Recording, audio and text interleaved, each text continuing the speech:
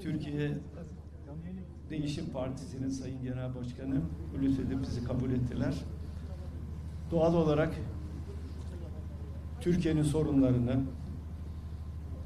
deprem bölgesinin sorunlarını, siyasette bulunduğumuz noktayı kendisiyle ve arkadaşlarıyla e, görüştük. Güzel bir görüşme oldu.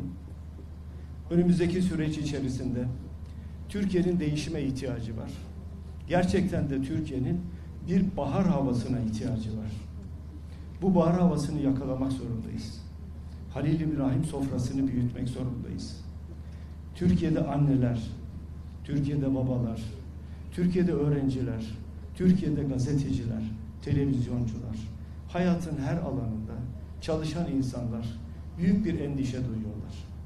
Bu endişeyi ortadan kaldırmamız lazım. Bunun yolu beraber olmak lazım. Birlikte olmak lazım. Birlikte Türkiye'yi yeniden inşa etmek lazım. Demokrasiyi getirmek lazım. Kadın erkek eşitliğini sağlamak lazım. Sabahın köründe insanlar düşüncelerini açıkladılar diye evleri basılmamalı. Eğer biz demokrasiyi getireceksek o zaman siyaseten görevimizi yerine getirmiş olacağız. Dolayısıyla bu ayrıntıları Sayın Sarıgül'le ve arkadaşlarıyla oturduk, konuştuk, dertleştik. Güzel bir görüşme oldu. O nedenle ben Sayın Sarıgül'e ve arkadaşlarına e, yürekten teşekkür ederim. Ve bizi kabul.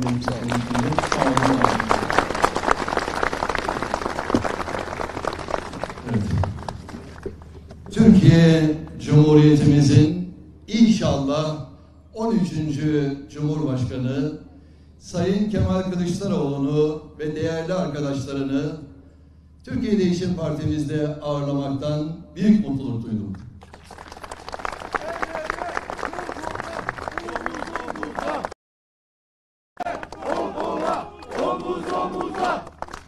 Sayın Sayın Kılıçdaroğlu'yla ne zaman bir araya gelsek Türkiye'yi konuşuruz, Türkiye'nin sorunlarını konuşuruz ve o sorunları konuşmaktan da her zaman keyif alırız. Bugün de çok güzel bir görüşmeyi birlikte ve heyetler olarak gerçekleştirdik. Türkiye Değişim Partisi olarak demokratik parlamenter sistemden yana olan bir partiyiz tarafsız cumhurbaşkanı, güçlü meclis, bağımsız yargıyı arzu ediyoruz. İnanıyorum ki Türkiye'mizi demokratik parlamenter sisteme geçirecek olan en doğru aday Sayın Kılıçdaroğlu'dur.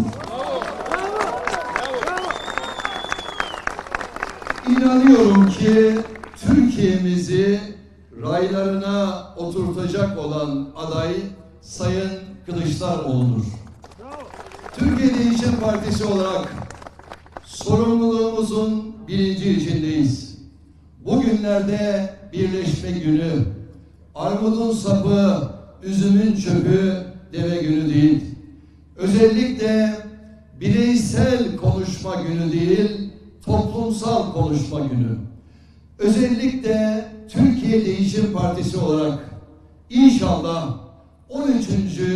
Cumhurbaşkanımızı genel merkezimizde ağırlamaktan büyük mutluluk duydum.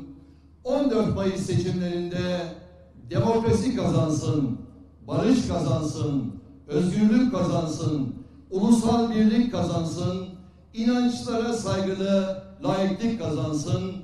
14 Mayıs seçimlerinde kardeşlik hukuku kazansın, toplumsal barış kazansın.